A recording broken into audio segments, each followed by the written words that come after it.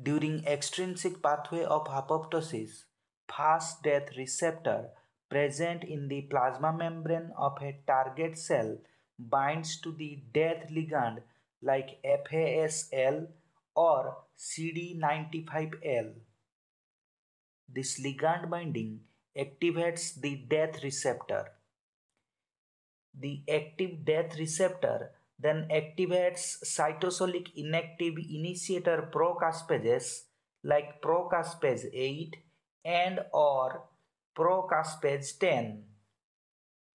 As a result, procaspase 8 forms active caspase 8 and procaspase 10 forms active caspase 10. The cytosolic inactive executioner procaspases are then cleaved and form active executioner caspases. Preformed caspase 8 and caspase 10 help in the cleavage and activation of cytosolic inactive executioner procaspases. During the intrinsic pathway of apoptosis, cytotoxic cell dispersed by immune system attaches to the plasma membrane of target cell.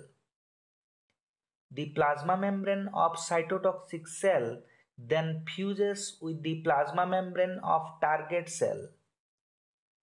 Due to this fusion, granzyme B present in cytotoxic cell are released into the cytosol of target cell. The granzyme B then causes conversion of executioner pro procaspase 3 into caspase 3. The granzyme B also causes conversion of executioner pro procaspase 8 into caspase 8. Caspase 3 and caspase 8 are executioner caspases. Caspase 3 and caspase 8 also help in conversion of other executioner procaspases into executioner caspases.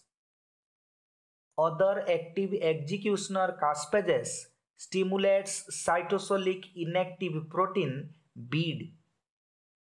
The inactive Bid is then cleaved and converted into active T Bid or truncated Bid. The caspase 3 also causes cleavage and conversion of inactive Bid into T Bid. Bid is a BCL2 related protein. The cytosolic T Bid then moves to the mitochondrion. In the mitochondrion, T Bid initiates or starts opening of the outer mitochondrial membrane channel.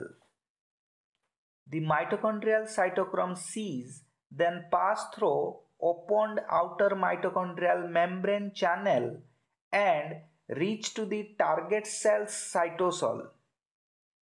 This is a cytochrome C.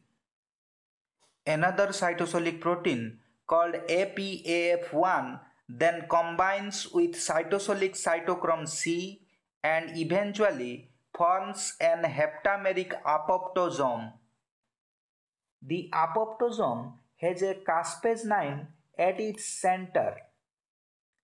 The apoptosome also helps in the conversion of inactive other executioner procaspases into active caspases. The target cell cytosol has many death substrates like ICAD, lamin, vimentin, actin. Other active executioner caspases help in the conversion of these death substrates into the degraded proteins. Please like, subscribe and share.